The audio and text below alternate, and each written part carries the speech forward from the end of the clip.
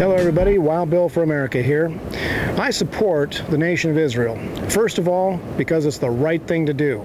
Now, I've read both the Hebrew scriptures and the Quran, and those writings make it abundantly clear which one is chosen by God.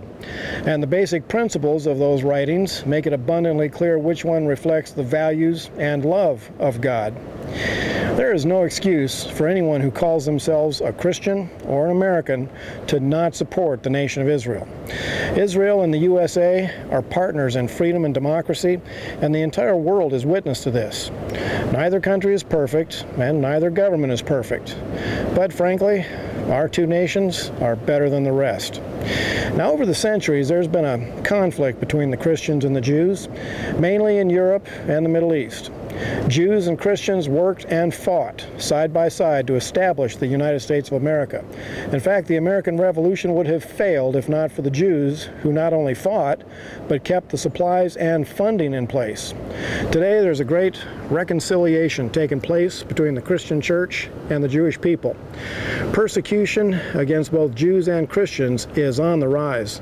Christians and Jews are being murdered for their faith in record numbers. We must stand together.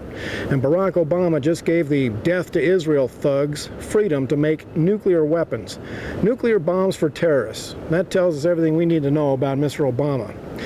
Jerusalem has been the capital of the Jewish people for over 3,000 years. It is their home and they deserve to live there in peace. And I will continue to stand for Israel because God Almighty stands for Israel. I challenge those in the USA who are on the wrong side. John F. Kennedy, considered to be the greatest Democrat, said this about Israel Israel was not created to disappear. Israel will endure and flourish. It is the child of hope and home of the brave. It can neither be broken by adversity nor demoralized by success. It carries the shield of democracy. It honors the sword of freedom. Ronald Reagan, considered to be the greatest Republican, said this For the people of Israel and America are historic partners in the global quest for human dignity and freedom. We will always remain at each other's side. There you have it. Whether you are Democrat or Republican, there is no excuse for you to not support the nation of Israel.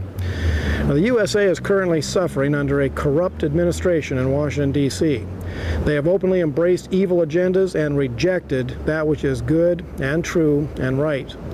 One result of their evil agendas has been a diminishing of respect for Israel and open support of the vicious enemies of Israel.